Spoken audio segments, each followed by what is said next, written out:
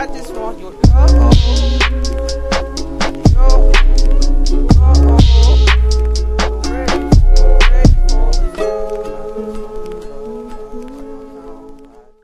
Hey everyone, it's Brooke, and in today's video, I'm going to show you guys my grooming routine. So, first, I use a curry comb, and it looks really dusty.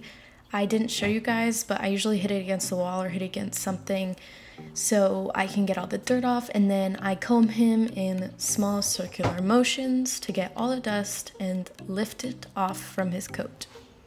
With a brush, I just start brushing him off, getting all that dirt that we lifted from his coat using the curry comb. I just brush it off. I preferably use two brushes to make it a little faster, a little more efficient, and I use the softer brush to softly brush the dirt off his face. Next, I have a hoof pick, and with the brush side, I just brush out his feet our footing in the arena doesn't really get stuck in their feet, so I really never have anything to pick out of his feet except just brush off maybe some shavings or whatever got stuck in his feet. But there's really, um, there's really nothing that I have to get out. Next, I have some fly spray and I grab a small towel and I just spray the fly spray all over him. Sometimes it clumps up, so I like to rub it in with a towel. We have a lot of flies in Texas, so this is a really crucial step to make sure they're not getting irritated. Next, I have Hoof hoof conditioner and dressing, and I just slap that on his feet to make sure they are nice and conditioned and not too dry.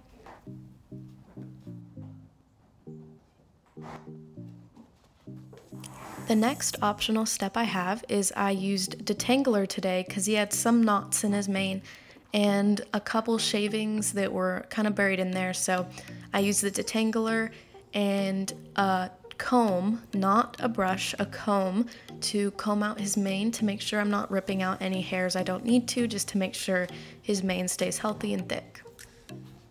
Next, I use this multi-purpose ointment and I just rub it on his little dry spots on his face where his hair is kind of fading or his skin is getting irritated.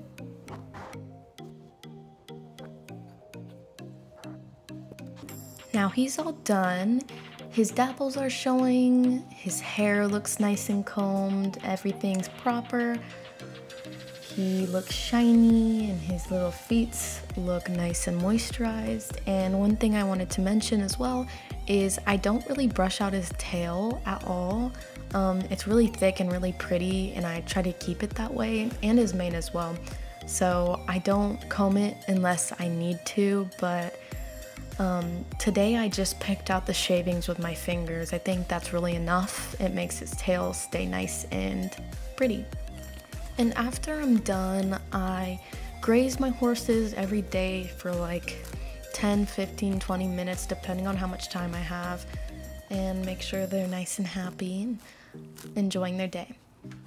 So after about 20 ish minutes of grazing him, I put him back in his stall and he had his food and he was happy and clean and all ready to relax. And then I found Flo enjoying her food, but unfortunately, I had to interrupt her. I don't think she was too happy about that, but um, she was a good sport. I got her out of her stall and we headed up to the main barn where I was going to start getting her clean because she was super dirty and a little sweaty from just sitting out in the heat. So here's her before I groomed her. Um, I'll show like a little shot.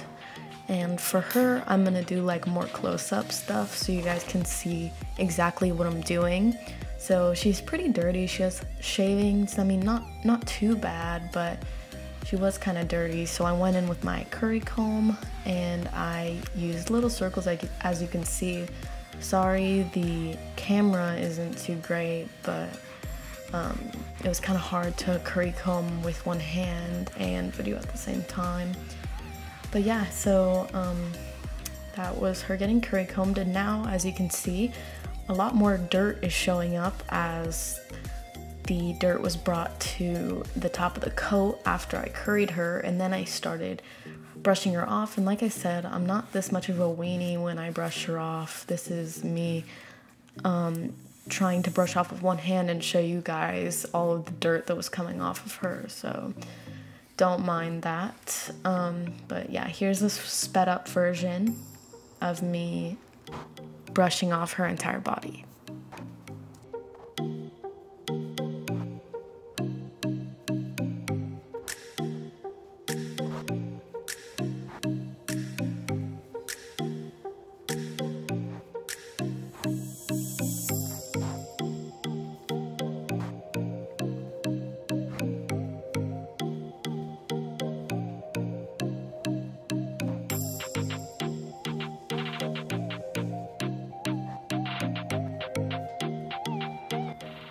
So in this next clip, um, I got a really soft brush to brush off her face because she's really sensitive and she was super happy about that. Um, and then I used the rubbing alcohol to scrub off the dry sweat because I didn't want to wash her because I don't want her sitting in her stall and it was really humid and sweaty and I didn't want her to get fungus when she was drying or drying outside.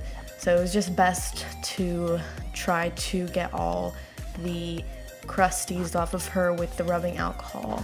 Um, so that's also a good way to get her socks white. Um, she had like grass stains and stuff, and the more I scrubbed, um, the more it got the sweat off, and her chest got really sweaty, and it was all dried up because we live in Texas and it's like 100 degrees here, so um, I tried my best, and then I'm going in with the hoof conditioner and just painting her hooves. And like I said, sorry for the camera job, it's not that great, but um, I tried my best for you guys.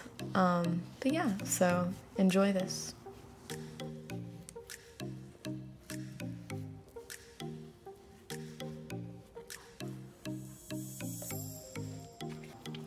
Now she looks beautiful. Her hooves are nice and conditioned. I spring a lot of fly spray on her because, like I said, Texas, we have tons of bugs. It's super hot.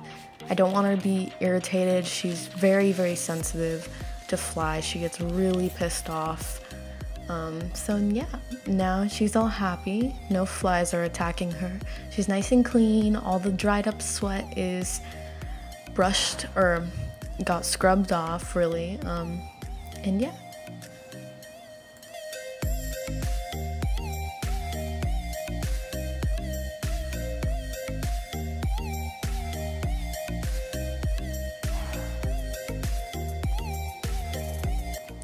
So now I am taking her and we are going to go graze.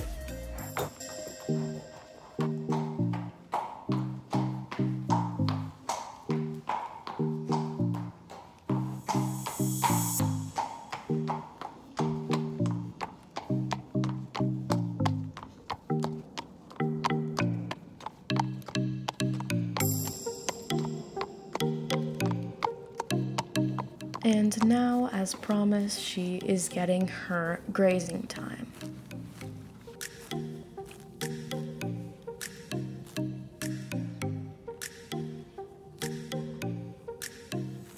And of course, a ritual that the horses are very familiar with is their treat time. Um, today, or on this day that this was recorded, I had carrots. And of course, they love carrots. It's one of their favorite snacks.